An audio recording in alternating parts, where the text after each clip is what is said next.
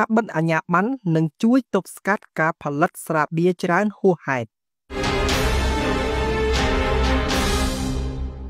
ការប្រកាសរបស់សម្ដេចធិបតីនាយករដ្ឋមន្ត្រីកម្ពុជា ថាកម្ពុជាបញ្ចប់ការចេញអាជ្ញាប័ណ្ណថ្មីសម្រាប់រោងចក្រផលិតស្រាបៀរនៅក្នុងប្រទេសគឺជារឿងមួយដ៏ត្រឹមត្រូវខណៈដែលមជ្ឈដ្ឋានមួយចំនួនកំពុងតែរិះគន់លើបញ្ហានេះសម្ដេចធិបតីហ៊ុនម៉ាណែតនៅរសៀលថ្ងៃទី21ខែវិច្ឆិកាឆ្នាំ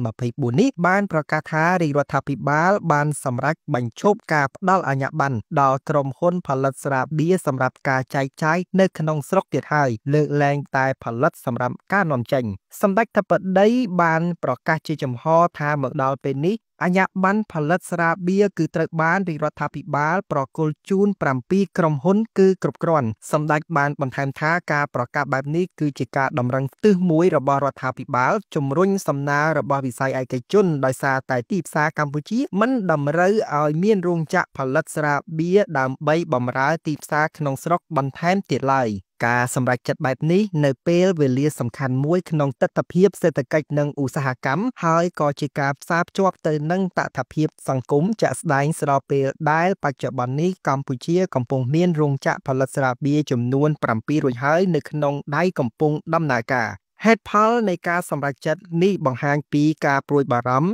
អំពីចំណាយទីផ្សារផលប៉ះពាល់បរិស្ថាននិងសេដ្ឋកិច្ចសង្គមកម្ពុជា ជាការពិតឧស្សាហកម្មស្រាបៀរវាពិតជាបានចូលរួមចំណែកយ៉ាងសំខាន់ដល់សេដ្ឋកិច្ចកម្ពុជាតាមរយៈការបង្កើតចំណូលពន្ធការបង្កើតការងារនិងបំពេញខ្សែសង្វាក់ផ្គត់ផ្គង់ក្នុងស្រុកនៅកម្ពុជាមានប្រជាជនត្រឹមតែ17លាននាក់ក្នុងនោះពលរដ្ឋដែលគ្រប់វ័យហើយសង្គមអនុញ្ញាតឲ្យទទួលទានគ្រឿងស្រវឹងគឺមានមិនដល់10លានអ្នកនោះទេដូច្នេះការប្រកាសបញ្ឈប់ការចេញអាជ្ញាប័ណ្ណផលិតនិងផ្គត់ផ្គង់ស្រាបៀរនៅក្នុងប្រទេសគឺត្រឹមត្រូវណាស់ខណៈពេលនេះក្រុមហ៊ុនផលិតនិងនាំចូលមួយចំនួនកំពុងតែបង្កើនកម្មវិធីឃោសនាដែលនាំឲ្យមានសារខ្លះបង្កើតទៅជាការភ័ន្តច្រឡំនៅក្នុងសង្គមហើយអាចបណ្ដាលឲ្យពលរដ្ឋប្រើប្រាស់គ្រឿងស្រវឹងជ្រុលប៉ះពាល់ដល់សុខុមាលភាពពួកគេ និងបង្កបញ្ហាផ្សេងៗតាមសេចក្តីរាយការណ៍នៅលើទំព័រសារព័ត៌មានមួយចំនួនកន្លងមកបានឲ្យដឹងថារោងចក្រផលិតស្រាបៀរទាំង7បានកំពុងដំណើរការក្នុងប្រទេសគឺអាចផលិតស្រា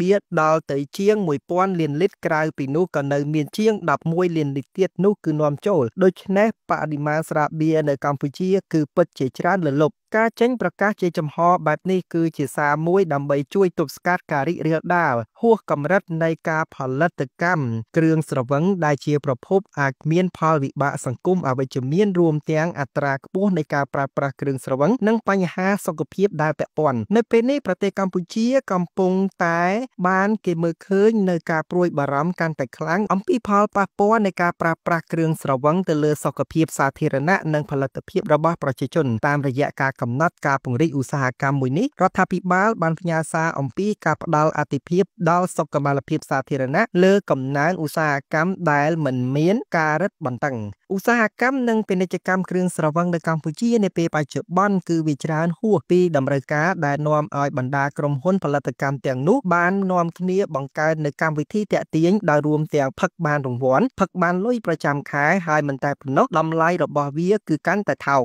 របាយការណ៍នៃការអង្កេតប្រជាសាស្ត្រនិងសុខុមាលភាពកម្ពុជាឆ្នាំ2021ដល់2022បានរកឃើញថាការប្រើប្រាស់គ្រឿងស្រវឹងក្នុងប្រទេសគឺរាលដាលដោយមិនមានភាពខុសប្លែកខ្លាំងរវាងទីក្រុងនិងជនបទអ្វីដែលគេបានរកឃើញគឺថាបុរសរហូតដល់ទៅ70%និងស្ត្រីចំនួន